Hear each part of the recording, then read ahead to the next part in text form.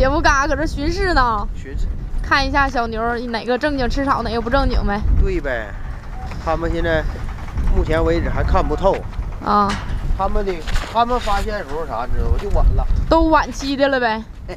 不说晚期吧，反正他指定是发现的不及时。嗯，哎，姐夫，我这我通过这两天跟你上市场，我就感觉这小母牛可便宜了。你说如果这会儿了抄手小母牛的底儿，行不行？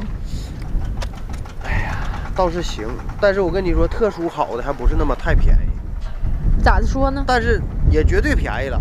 啊就是今天咱买个八千八那个啊那个小母牛，那要是二零年最贵的时候，嗯，也得一万五六，那么贵啊？那咋的？那撅下去一半呢？咱咱那个买一点四三那个啊，那个牛得多少钱啊？那得二点几啊？两万五，你要能买着就不错了，二点几。我家那大母牛全是那么劲儿，五百来斤儿，两万二三、两万四五买的，老贵了是啊。啊。那你看你身边这些那母牛的呢，这个你说繁殖的话不行吗？这个过去就这里的牛啊，在二零年的时候，都是一万二三、一万三四的牛，嗯知嗯道不？有的都不止，有的都是一万六七、一万七八的牛，知道不？嗯，但现在它就不值了，全是上槽育肥，拉脖子不让它下崽儿。就直接就育肥了。对，但是它有的是不是就没有下过崽儿？这不这里的都没下过崽儿，这里的都没下过崽儿，就买小牛直接就育肥了呗。对，都是小牛。啊，现在哈，为什么说不好的母牛淘汰？就是牛不好下出来的牛犊，一年都不够他娘俩吃的，咋养？养就赔钱。所以说破烂的都淘汰了。那买还得买精品呢。对呀、咱家那母牛下的牛犊子，平均公牛和母牛平均得在一点四，最少的啊、一年吃的花销不是，出牛犊子公公母平均啊，一点四到一点五之间。就是你说的是卖价呗？对呀、那么贵呢？那咋的？咱家那牛犊子公牛出都是一点二，母牛都得一点六、一点七了。好，养就养精品吧。对呀、这两天跟着姐夫上市场，看着这小母牛的价格是真便宜呀、我双双这心里边都有点刺的挠的，我都有点想养点小母牛了。趁着这轱辘抄底，抄底几头，然后回去跟江南再商量一下，因为现在暂时有那么一点点的小心思，刚刚在萌芽的阶段。然后一会儿去看看姐夫最近新买的二十头小母牛和他们家的大母牛。然后朋友们，如果你们呃最近想要养母牛的情况下，可以抄底了。最近的价格持续在低点，可能未来的两年三年都不会涨起来，但是有一天，如果说母牛价格又高了，又是跳水性反弹，那咱们就那会儿就赚钱了。今天大北风吹的，姐夫你不不冷吗？你咋把棉袄穿上了？你姐给穿的。我姐心疼你。姐夫说让我跟跟你们分享一下，看看这小牛一排排都是大宽脑袋，但是颜色虽然没有啥花片，没有啥呃，就是特殊好的啊，但是姐夫说了，姐夫这些牛多少钱？四十一个 W，四十一万，买了六十来头牛。这个小牛便宜吧？普遍都是六千来块钱、七千块钱不到的啊。这边也是姐夫家的大母牛，这不感觉都一个个像大老大肚子怀崽了似的呢？这都是宝川呀？这都是你啥时候买的？这都是养了两年了。养两年了，这都明年开春下崽的。对，都是春天下崽，这这买的时候估计都都挺贵的，都两万多，买前小的都两万多。小的都两万多。这边的大母牛就好，这边的母牛还没下过崽儿呢。姐夫说他们都是一个个十八九岁的小姑娘，这个比喻其实很恰当啊。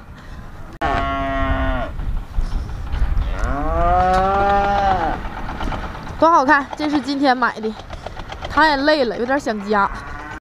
姐夫，这边的小母牛好小呀，小吗？小啊！哎，不算小了。这母牛平均有六百斤。有，这边好像是这两天姐夫买的这个小母牛。哎呀妈，你咋来看我的？哎，都走了呢。这点小母牛真好。哎，姐夫，你买那八千来块钱的也搁这里呢吗？那个就是啊。八千八。姐夫，你说我们要买点小母牛的，买多大的？买这么大的。买五百来斤的。就这个就行。八千八。八千八。那个一万零五。一万零五。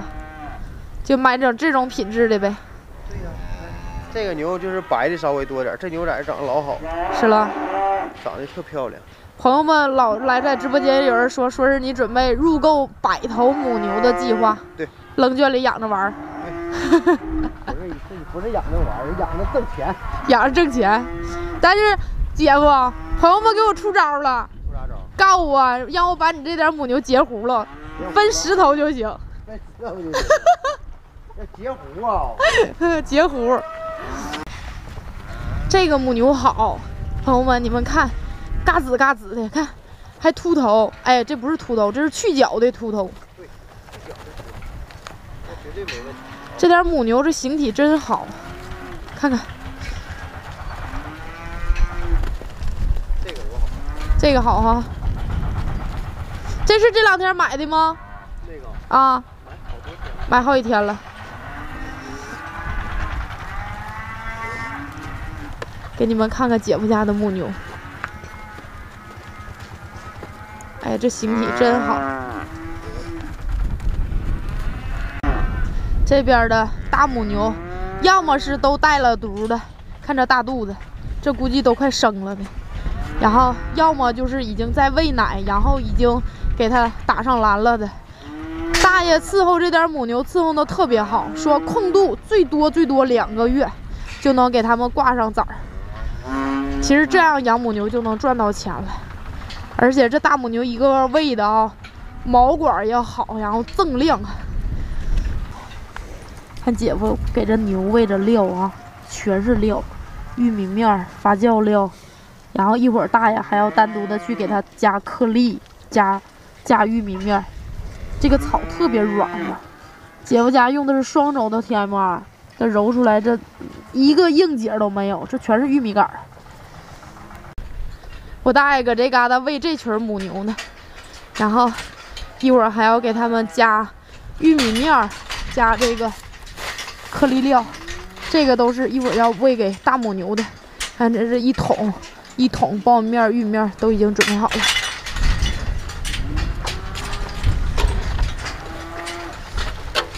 这点母牛净我大爷自己整，我大爷讲话了，让别人整不放心。冷不冷，大爷？不冷，不冷。前面有吃不着的，给他们匀一匀。一会儿给大牛吃完，他也要吃完。大牛吃完，那你不少吃，吃的还挺快呢。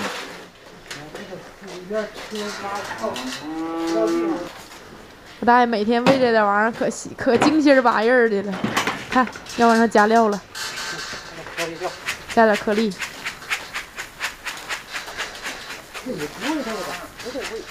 你看，老头一边撒料一边说：“不喂它，它就不长，就得喂。”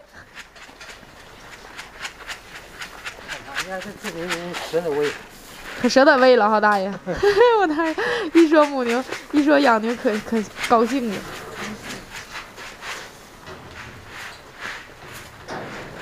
你这你屋子，你这是我这四五个月的，多大饭呢？五个月就五个月就能达到五百多斤呢，那那确实是好。看来养母牛也不是那么简简单单说养就养的，通过简单的。哈哈哈